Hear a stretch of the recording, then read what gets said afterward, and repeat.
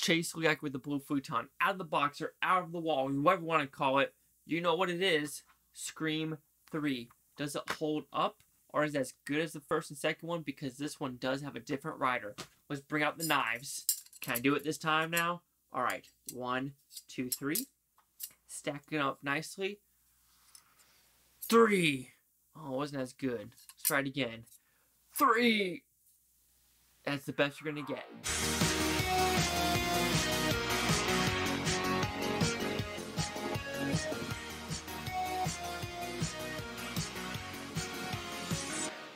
God, I'm such a weirdo. Anyway, Scream 3, what's about? A very simple premise, actually. So this one takes place later in the future. Neve Campbell's character, back. David Arquette's, back. Liev Schreiber, back.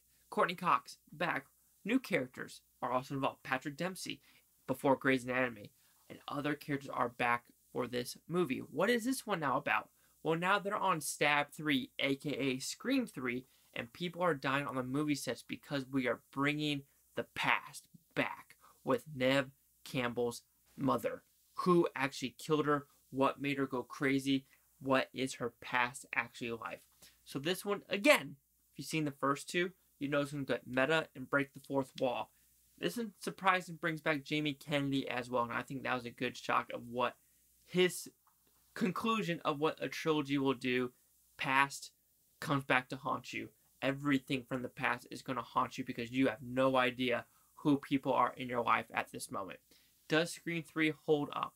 I still think this one does hold up with what it is trying to do with closing out this trilogy of the Scream movies because bringing back the past, yeah, I understand what they're doing there, but with that past, they do some weird scenes that feels Wes Craven 80s type of movies about these weird flashbacks and women in white dresses that are like, oh, see me, know me from your past. Like, ooh, like ghost premonitions. And that is really cheesy. And I think they're trying to be cheesy in this movie.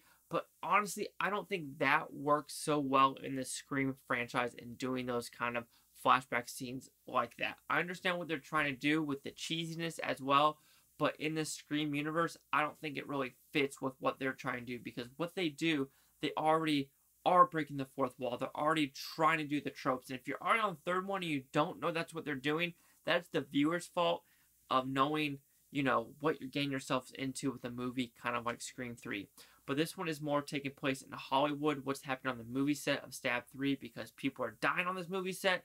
And now, you know, we got to figure out who's doing it the past of these characters and who is going to die. With this one, actually, though, just rewatching it, the killings are not as sharp or as not as graphic as the first two when I think about it. The first one, you have blood and guts like Drew Barrymore and other characters, you know, the garage door scene. The second one, you do have a little bit more like throat slashing, and blood dripping, but this one is more tamed actually. There are some fun cameos of Jay and Silent Bob. I did enjoy that extremely well and that was during the whole Jay and Silent Bob Strikes Back dimension, you know, Miramax type of age. So they had huge, you know, clout in Hollywood, if you want to put it that way. But this one actually felt, it just felt more tamed. And I understand why people probably didn't like the third one as much because, you know, stabbed in the back scene, stabbed in the back scene, some blood here and there, people thrown off a roof, blood here and there. Uh, twist and turn, you kind of know what's happening with the twists and turns if you actually pay attention to the story when I first rewatched it, I was like, oh, okay, interesting twist. I do not remember that. But then when you think about it, you're like, yeah, I should have saw that coming. I'm an idiot.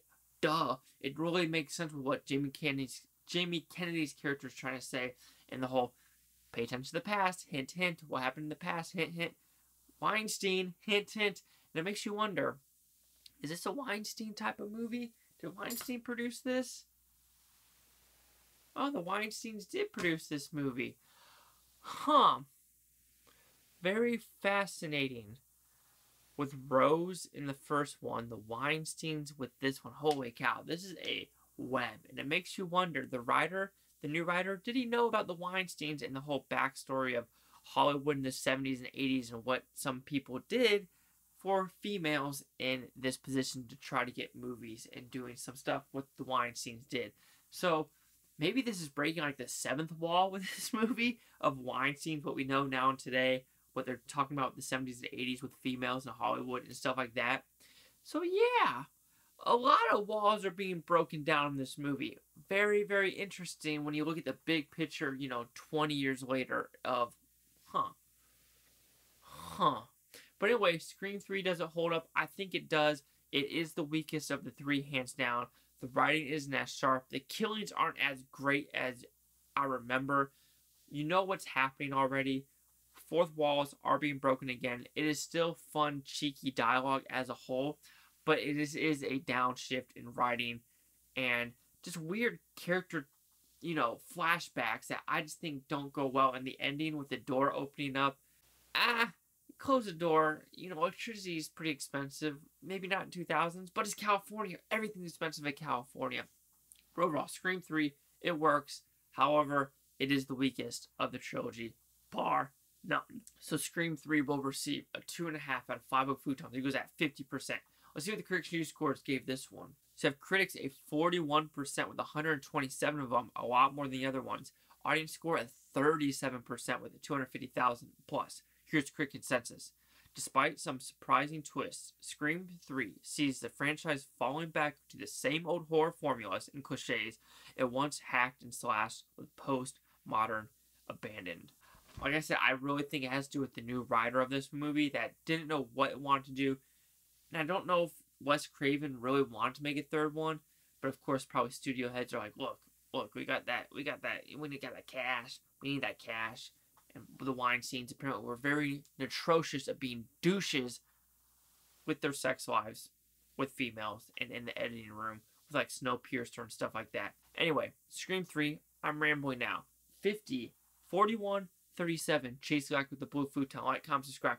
Let me know what you think about Blue Futon Utopia, you Blue Futonians. Thank you for watching and have a great day. But like I said, Scream 3, it is still a very watchable movie. If you've seen Scream 1 and 2, you're going to watch Scream 3. Just prepare for, you know, a little ho hum. Is ho hum for the three knives. Are we going to make it? Ooh, sunset. It's more like a middle finger. God, I'm not cool at all.